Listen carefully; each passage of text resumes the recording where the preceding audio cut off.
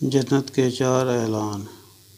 रसूलुल्लाह सल्लल्लाहु अलैहि वसल्लम ने इरशाद फरमाया, जन्नत में एक ऐलान करने वाला ऐलान करेगा।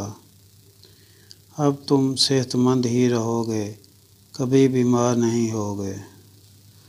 तुम हमेशा जवान रहोगे, कभी बूढ़े नहीं होगे।